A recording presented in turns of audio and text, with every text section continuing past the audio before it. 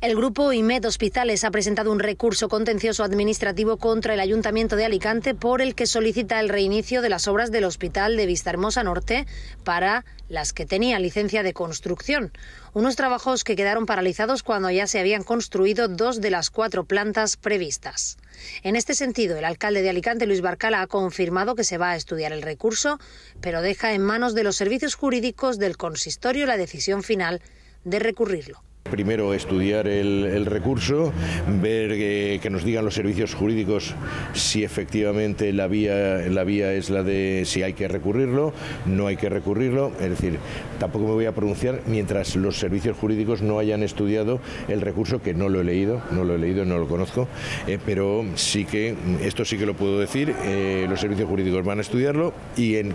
en este como en todos los casos, es decir, la opinión de los servicios jurídicos será la que respetemos. Sobre el expediente sancionador abierto contra IMED, el primer edil ha resaltado que se dará respuesta a este y otros asuntos relacionados durante la comparecencia que va a realizar durante el pleno del próximo 31 de octubre. Como esa es una de, esas de las preguntas que contestaré en la comparecencia que tengo que hacer en el Pleno, pues entonces eh, tendréis la respuesta. A ver, vamos a ver, por una sencilla razón, no tendría ningún inconveniente en contestar porque la, contesta, la, la respuesta es bastante obvia, ¿vale?